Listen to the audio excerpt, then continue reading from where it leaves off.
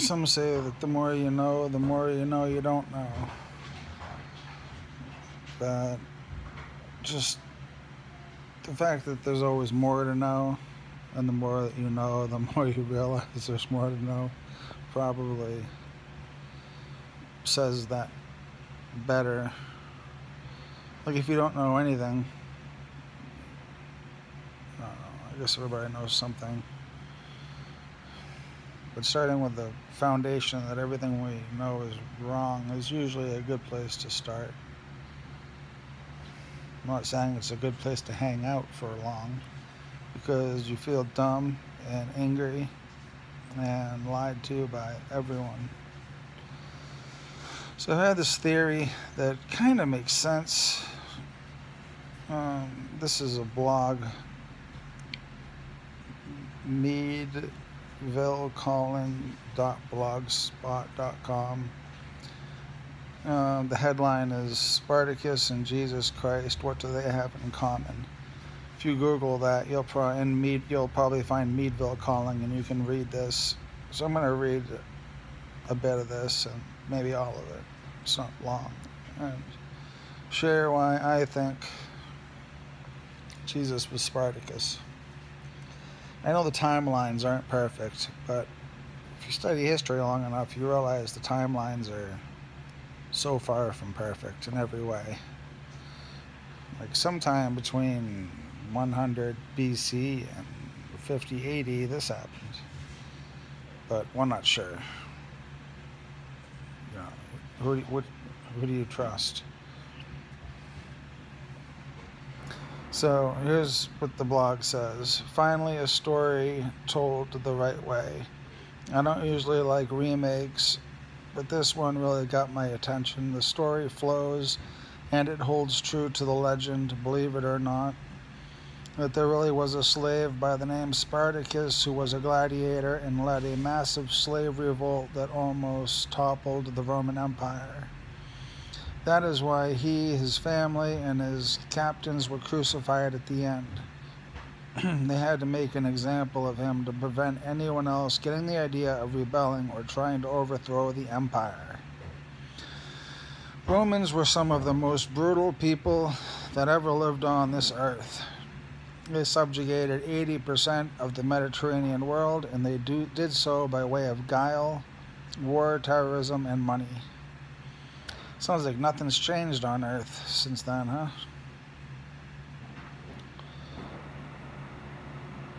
But I must say, every culture is brutal. Some people think that the cru- that crucifixion was reserved for people like Jesus of Nazareth, when actually it was a brutal punishment reserved for political prisoners who Rome needed to make an example of. This is why the mere fact that this individual and Christ were both crucified shows that the problems caused by Jesus were significant enough to be mentioned by Josephus and the Chronicle of Palestine. The primary crime that Jesus committed was, in the eyes of the Roman world, equivalent to the crimes committed by Spartacus. Jesus was encouraging his followers to overthrow the powers that be and try to start a new world order. A new order. What I find fascinating is that is the fact that both of their stories have outlived the Roman Empire and Jesus eventually through his followers changed the Roman Empire and arguably the history of man kind by triggering the creation of two of the world's great religions. And then he says uh, he wishes there was a spell checker, and he's a oh, and he's not an illiterate moron, but he does spell at the eighth grade level. And we won't even talk about his lack of math skills. I can relate with him there on both of that. So in Spartacus, the movie, the series on HBO. I might watch it again just to find that. Plus, I like the show. But there's a spot where uh, they're crucifying someone, and Spartacus is walking through the town with somebody, and they're stoning this this woman to death. I don't know why. What their reasoning was. she was a supporter of Spartacus, I think. So Spartacus takes the stone and and throws it and hits her in the head and kills her. And you would say, "Oh, Jesus wouldn't do that," but remember what he did say? He said, "Let him who is without sin cast the first stone." He couldn't stop the angry mob from being the angry mob, and if he could have, he, he didn't. Matter of fact, he probably led the angriest mob in the world at times. Both of them did. So, anyway, so when Jesus said, Let him without sin cast the first stone, he said, I'm going to throw the first stone and I'm going to kill this person so that you guys can't torture them because you're a bunch of savages. And that is exactly a scene in Spartacus. Plus, there's the 18 years in the, the wilderness, which people interpret as being a wilderness. But wilderness, I don't know where it says that in the Bible. There's just 18 years, nobody knows where he was, apparently. And if they do, they aren't saying that he was at war. Because the, the idea of him being a hippie, you know, not a, not a, one of those crazy hippies, but like a chill, meditating hippie who was a pacifist makes it easier to control the people who think they are followers of Jesus. But when I ask people what did Jesus actually do, those who those who will even answer, they say he flipped over the table and was going to get his crown or, or die. He was entitled to and okay with either apparently at that point. So, um, yeah, so one sang, missing 18 years, a scene from a fictional movie. The thing about movies, I was just talking with a friend about movies, and I, I don't know when, but I think that I know, I know, whether I'm right or wrong, you know, history can decide, but I know that a lot of what's on our televisions and uh, you know documentaries just appear. Like some of them are just too good. They're too honest for humans to have made them i think that'll probably become evident and relevant as disclosure goes onwards that humans aren't in control. You know god's in control. And even that concept of God being in control is something that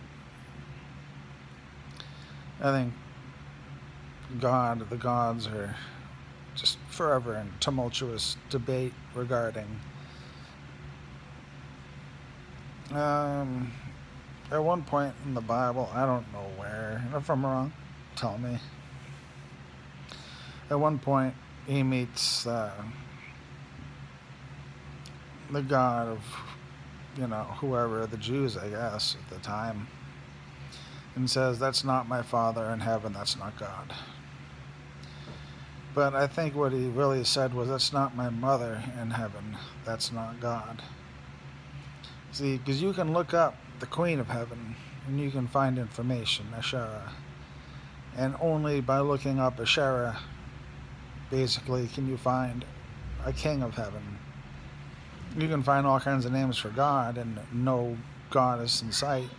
You can look up the names of all kinds of women and and only find information about their husbands. These are facts. Something I've spent a good amount of time doing.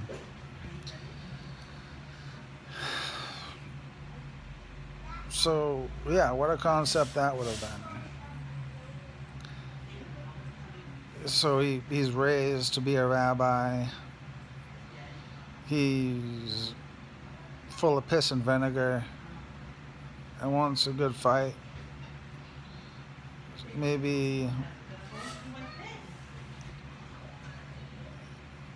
he sells himself into slavery on purpose or accidentally, or maybe he's tricked. Is that possible? Why not? Because say God, God's infallible, but where do we see infallibility represented by any of his any of the teachings which correlate or relate with God? I think I found one, which is the strongest bit, and it's not even relevant to like much. To, to me, it is, but to most people, they'd be like, "This, this is not important." There's the gates, the, the eight.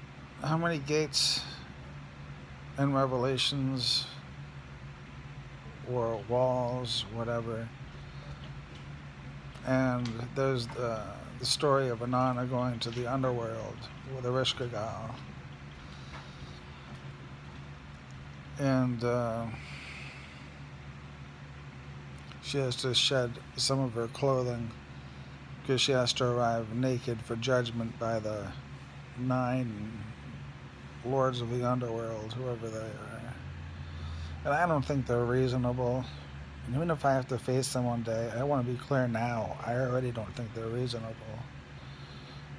But I know Inanna wanted to be the Lord, ruler of everything. And that's difficult to do. And what it was called was the mess. M E S. It was everything that was great and equated with everything that was not great or that was terrible. Like laws and crime go together like peanut butter and jelly. Um, prostitution or rape. You know, if you don't have prostitution organized, you're more likely to have rape, especially since some religions weaponize it against women and children, and it's a total disgraceful disaster. I'm not going to get into right now because I'm weak right now.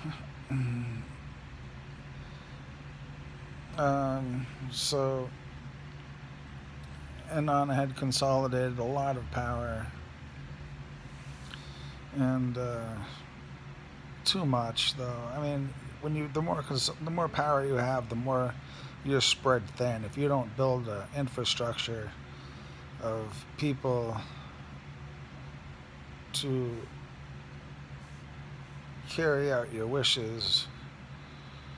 And what's that word? There's a word I really like. Um, where you give people responsibilities.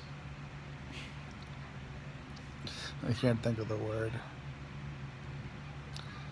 Anyway, I'll remember it some point. Not designate.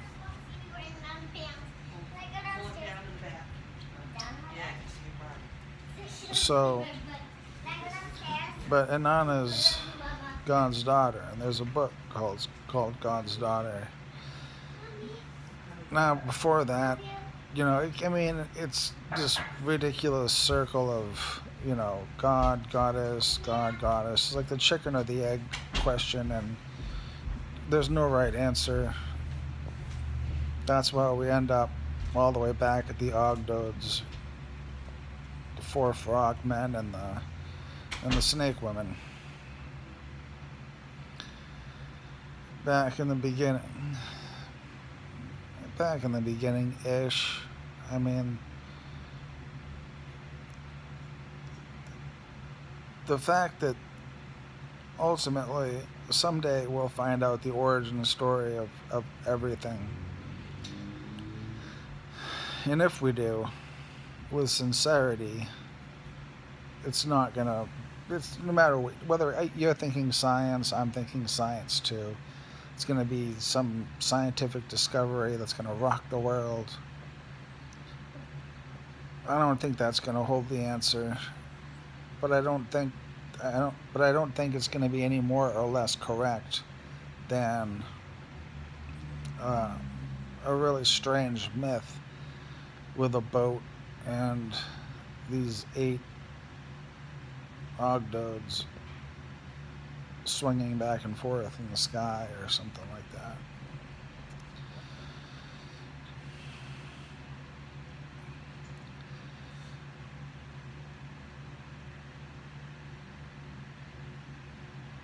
I think it would really mess up a lot of people's perceptions if they. Well, uh, some people seem aware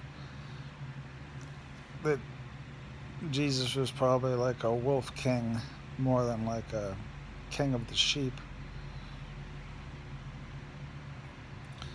But these same people would probably say that humans are more like goats or wolves than sheep to begin with. And let's face it, the sheep are everyone but you, right? you and you and your people, you know, you're the strong ones, and everyone else is sheep for not believing you. But really, I don't know who's gonna be the, the who's gonna be the good shepherd. You know, they want a they want a wolf king. They want someone more ferocious and horrible than than him. Not even ferocious. He's just he's just an abomination. So yeah, I offer no proof of my theory, but I think that that. Oh yeah, so at the point about documentaries and movies being made with perhaps increasing accuracy, I attribute to uh, the, the evolution of consciousness and awareness of past lives and the, the Schumann resonance and technology that's also indistinguishable from magic or religious um, occurrences which are indistinguishable from technology. You know, like there was this dude one time who I met. I think he was, I think he was an agency or something. He had this box, and he said, he said, here, open this box. Everything you want is in this box. My mentor, who I trusted, Mark, was there and this dude who I'd seen around increasingly was there too. And I mean, I've seen a lot of occult mockery in my day. I've seen a lot of it, like too much. Like to the point where sometimes I think they're mocking because they don't understand.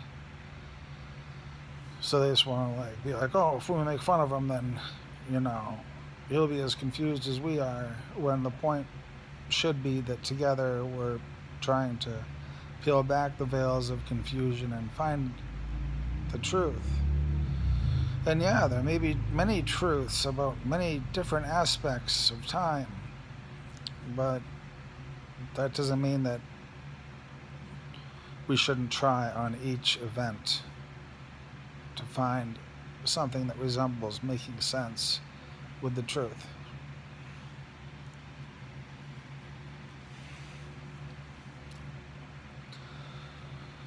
Um,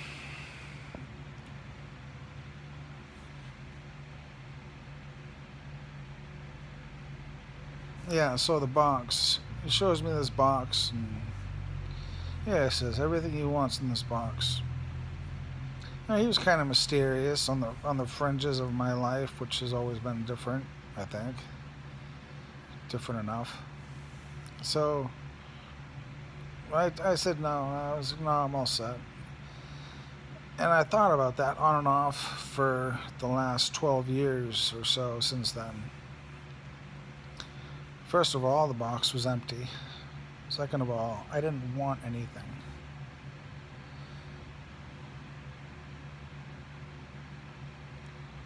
But the point wasn't that it was empty, the point was that I didn't want anything.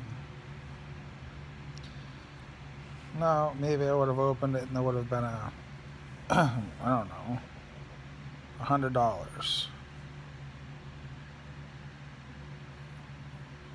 Who doesn't want a hundred dollars? I don't think there was anything in there, and I don't.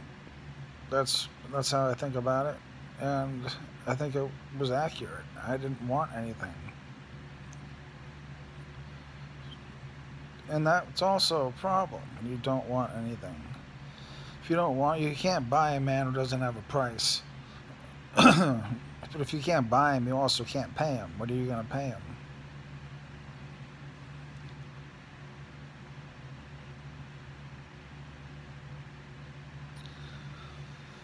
So, I figure he was a.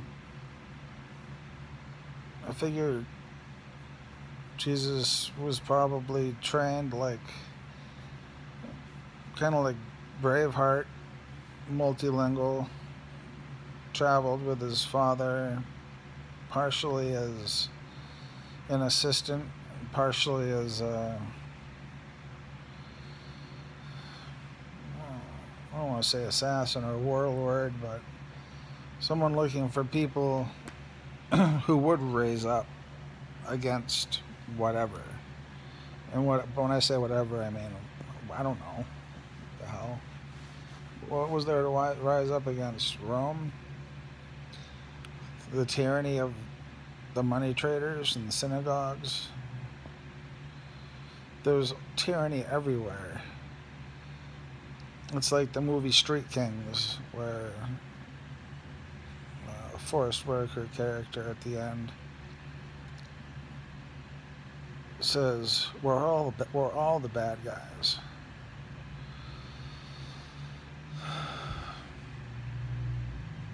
And uh,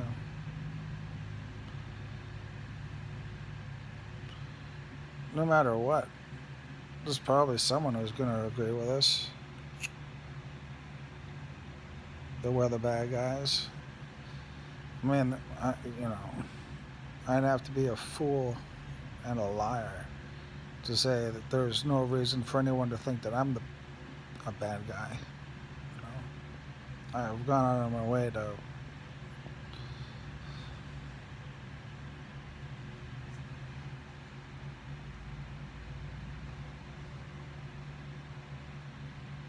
let me rephrase.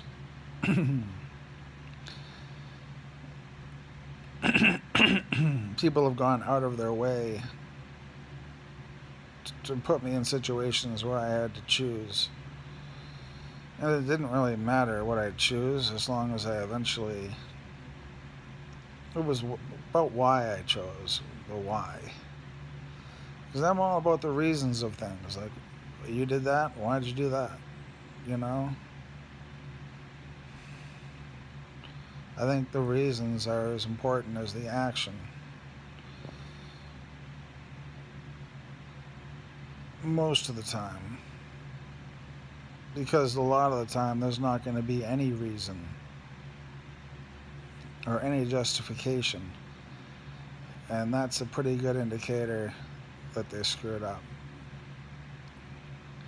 And if Jesus hadn't had considerable political power, why would they have crucified him?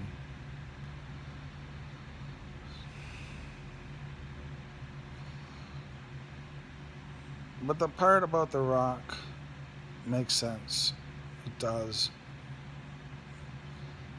There's nothing else like it in any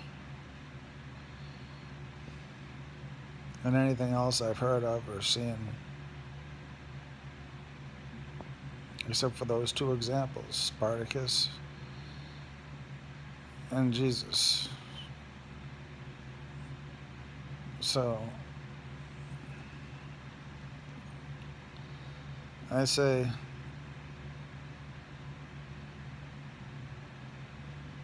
what I always say. If he had, if they had given him the throne and the crown, he would have been in worse condition than, than he was by being crucified because there was no global internet. there was no way for anyone to know why. Why are you doing what you're doing? He would have had no way to tell anybody. He just would have been a warlord going around warring. Like in uh, Game of Thrones. It's the same thing there at the end. Ish, you know, the blonde lady wants to go around the world and, and free everyone. But that means war with the entire world with a, you know, a total war machine.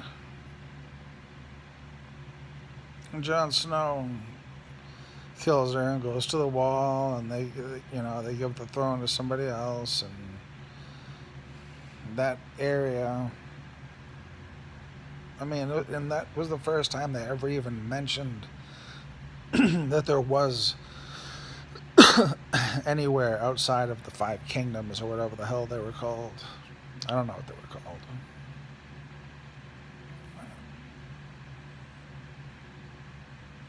Some of those shows were so bad. Some of the episodes, whole seasons, towards the middle end, just didn't translate well.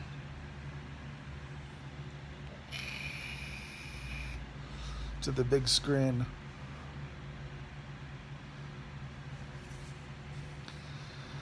So,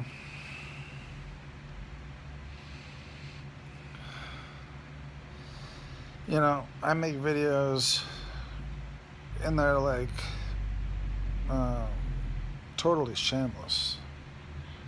Like, I talk about my 12 year old wife like it's nothing. Like, just daring, you know, to give me shit about it, you know? Nobody does. It's not like I forgot about her, it's just a lot's gone on. And I did think she was Mary Magdalene. And when she was here, I did remember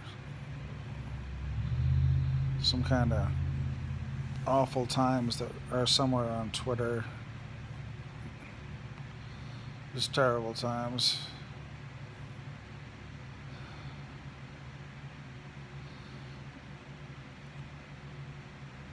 You can be in so much pain and nobody nobody knows. You know, like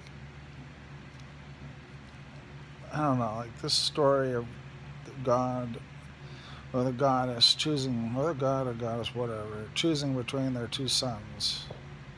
I assume in this story that one's black and one's white sometimes, and then at other times it's got nothing to do with race or color. I even came up with the idea that since in the time of Cain and Abel, women were property, not much better than animals to the people in the Middle East, at least, that Cain killed Abel because Abel killed Cain's wife and they had no recourse. But killing a man was forbidden when killing a female wasn't. See, there's always little missing pieces in history. And sometimes those pieces are like literally right in front of you if you do a little bit of research. They're like, it's just obvious.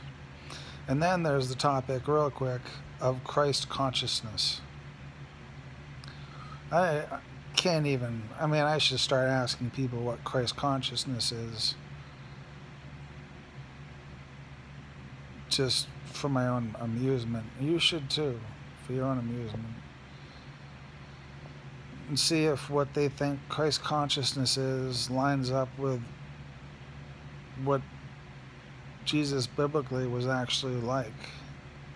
Because I say it's not. I say that it's a Luciferian Operation Bluebeam type distraction. That's what I believe. And I don't even necessarily know that I blame them for that because I'm too nice. That's why.